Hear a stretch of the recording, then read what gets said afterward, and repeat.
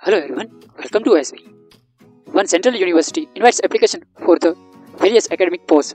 So let's see notification and क्या criteria है क्या एलिजिबिलिटी है कितनी एप्लीकेशन फ़ी है वो जल्द से देख लेते हैं ये notification central university of Jharkhand से आई है ये नोटिफिकेशन आपको डिस्क्रिप्शन बॉक्स में भी मिल जाएगा so let's see notification Applications are invited from eligible citizens of India and overseas citizens of India for the following position to be filled by direct recruitment on regular basis.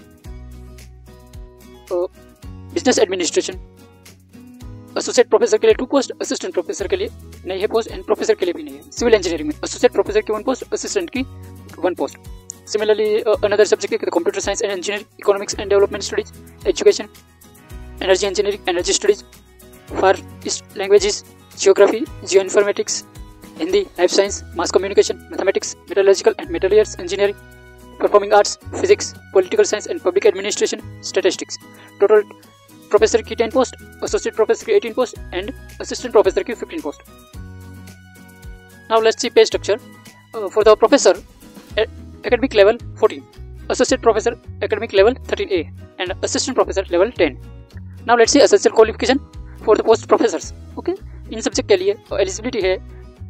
And eminent scholar having P H D degree with minimum of 10 research publication in the peer-reviewed or UGC listed journals and a total research score of 120 as per the criteria given appendix to table 2.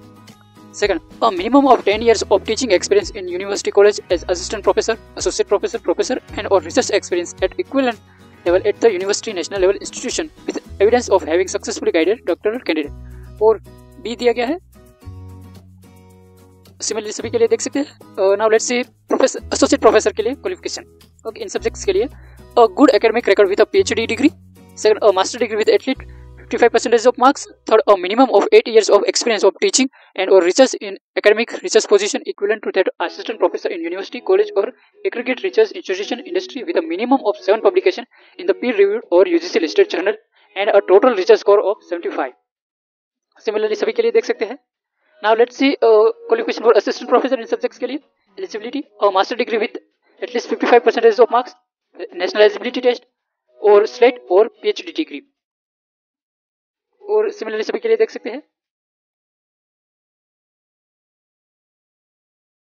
Now let's see general instruction for applicants all applicants are required to apply in the prescribe format on Samarth with complete correct information and attachment The post advertised carry UGC special plus admission allowances.